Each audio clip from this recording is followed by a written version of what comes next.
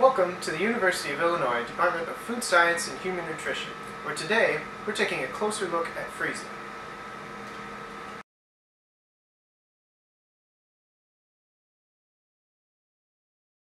This is not actually magic, but simply supercooled water. Want to know how this works? Well, let's start by taking a look at the conditions needed to form ice. As you probably already know, water turns to ice in the process known as freezing. Do you know what it takes to make liquid water turn into cold hard ice? Well, the first thing you need is low temperatures. As you can see, we've got some of those here today. The best way to understand how temperature plays an effect in freezing is to look at the molecular structure of water. And look, we have a glass of water right here.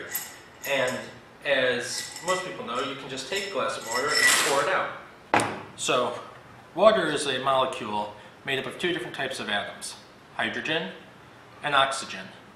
Now, in its liquid state, water is free to flow around, the molecules can move over each other, under each other, around each other. It's just kind of a random mess.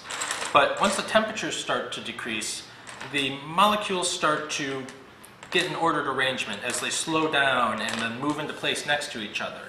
And what happens is you get a structure start that begins to form as the ice crystallizes.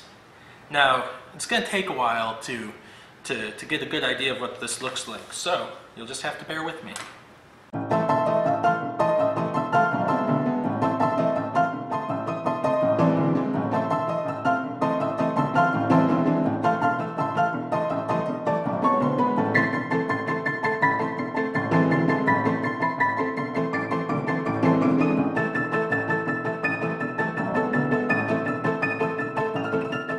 As you can see from this model, a single water molecule in ice is connected to four other molecules.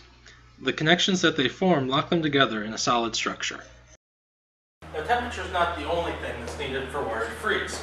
Before you can get a nice solid structure like this forming, you have to have something for the water to grab hold of.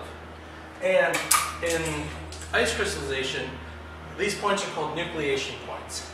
And they can be likened to an ice cream truck on a hot summer's day when the ice cream truck rolls into the area and the music starts playing, all the kids come out and line up to get their frozen treats. And they form a nice ordered arrangement uh, in their line so that they can get up and get their treats. And water molecules act in a very similar way. Um, a nucleation point is an impurity in the water.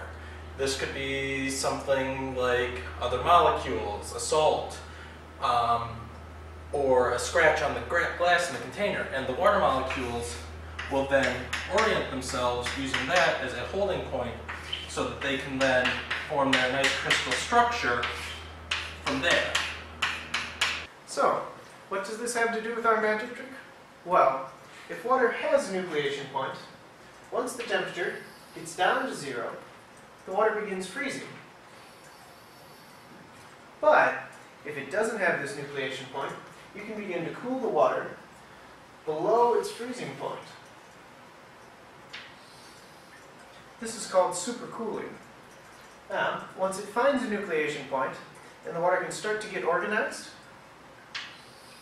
ice will begin to form instantly, causing our supercool magic trick. To supercool your own water, all you need to do is take away the nucleation points. And you can do that by getting rid of the impurities. So, if you use very pure water and cool it to below its freezing point, you can make super cooled water. Other important things to remember is to use a scratch-free container, like a water bottle, and to be very gentle as you move your super cooled water around. Enjoy! I bet mine will freeze first.